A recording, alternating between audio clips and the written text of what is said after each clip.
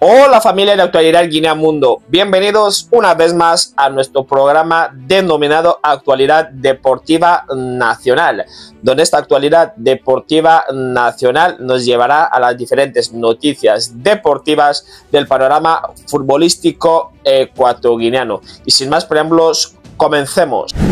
Esta semana ha finalizado el parón FIFA, donde la selección nacional de Guinea Ecuatorial ha jugado un partido ante el conjunto de Burkina Faso, donde el partido acabó con un resultado de empate a cero, donde los muchachos del Mister Juan Micha no pudieron ver portería, pero siguen invictos desde que el seleccionador nacional Juan Micha Obiang cogió las riendas de la selección nacional, no han perdido en casa. Son buenos números y son buenos resultados, aunque el seleccionador nacional ha vuelto a manifestar que si Guinea Ecuatorial sigue sin jugar todos los partidos amistosos que le otorga la FIFA, seguiremos perdiendo puntos en el ranking FIFA, que es la clasificación que se hace cada dos o tres meses. Por lo tanto, esta es una de las indignaciones que sigue teniendo el seleccionador nacional, que cada vez que hay un parón FIFA, Guinea Ecuatorial no está jugando sus dos partidos y esto puede perjudicar a la selección nacional a que no pudiera convocar amistosos para países importantes. Vaya locura sucedido en el estadio de Malabo el pasado día 13 de octubre donde los encargados de poner los himnos de los diferentes equipos no pusieron el himno de Burkina Faso y pusieron un himno falso que no era de ellos. Y jugadores como Basilio y Saúl Cocó manifestaron directamente diciendo que se cambiara el himno que estaba sonando porque no era de Burkina Faso. Pero finalmente se pudo cambiar, pero Guinea Ecuatorial ya había cantado su himno y Burkina Faso finalmente cantó su himno pasando como el país anfitrión. Locura total. Pero estas cosas siempre hay que tenerlas en cuenta. Si hay un partido que se va a jugar de aquí a dos o tres meses, todas estas cosas hay que tenerlas siempre listas para evitar estos imprevistos porque al final merman la imagen del país y su organización. Los jugadores de la selección nacional en este viaje que acaban de salir en Guinea Ecuatorial han mantenido una reunión con la tesorera Milagrosa Omonangüe y el ministro de Deportes. A continuación les mostraremos cómo fue dicha reunión y qué pidieron los jugadores para los próximos partidos y para la próxima edición de la Copa África Costa de Marfil 2024.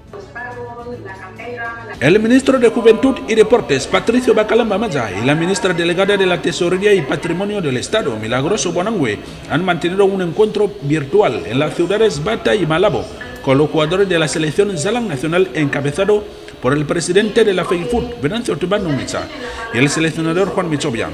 El objetivo de dicha reunión era para coordinar la programación presupuestaria de los próximos partidos a fin de poder mejorar los trámites de los expedientes. El ministro Patricio Bacalemba y la ministra delegada Milagroso Bonangüe transmitieron a los jugadores del Zalan reunidos desde la sede central de la Tesorería General en Malabo la confianza del gobierno y del pueblo ecuatoguineano hacia ellos. Por su parte, los capitanes de la selección Zalan Nacional de Guinea Ecuatorial Emilio Onzue, Carlos Acabo y Pedro Bian agradecieron a los miembros del gobierno por atender a su petición en cuanto a la nueva tarifa de los partidos. Bueno, vamos siempre a darlo todo con la máxima ilusión, con, como digo yo, eh, darlo todo, sudar sangre si hace falta y dar lo mejor de nosotros, como estamos haciendo ahora. Y como digo, es un partido de preparación.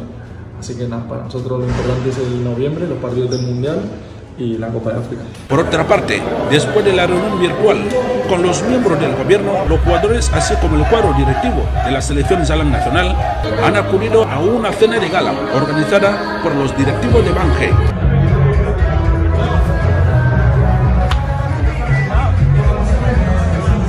en uno de los lugares turísticos de la capital Malabo, donde uno ha degustado los platos típicos que ofrece este complejo turístico.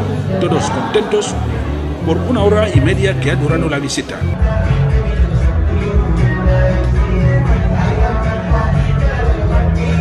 Lorenzo Zúñiga es el próximo objetivo del seleccionador nacional de Guinea Ecuatorial para cubrir esta escasez de gol que tiene la selección nacional con sus delanteros. Cabe resaltar que Lorenzo Zúñiga siempre ha mostrado su disponibilidad de jugar con la selección nacional pero siempre ha dicho, no es el momento para que yo pueda tomar la decisión de ir a jugar con la selección de mis raíces, porque todavía sigo siendo un joven y necesito adquirir muchísima experiencia. Pero Lorenzo nunca ha cerrado las puertas a la selección nacional de Guinea Ecuatorial y probablemente le podamos ver en la próxima convocatoria del próximo parón FIFA de noviembre. Buenas noticias para el delantero ecuatoguineano que milita en el conjunto del Numancia, Noé Elá. Tras verle salir en el partido contra Burkina Faso, muchos se preocuparon por el jugador y se encendieron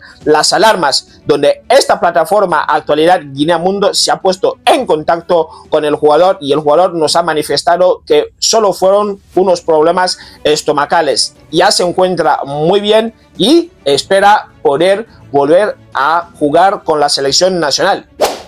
La selección nacional de Guinea Ecuatorial sub-20 ha caído este domingo ante el conjunto de Etiopía por un resultado de cuatro goles a uno. Las muchachas del Mr. Ganet no han podido dar el nivel que se esperaba, pero no se pierde las esperanzas de que es un proyecto nuevo y se espera que con el paso del tiempo podamos cosechar frutos de este proyecto en un largo tiempo.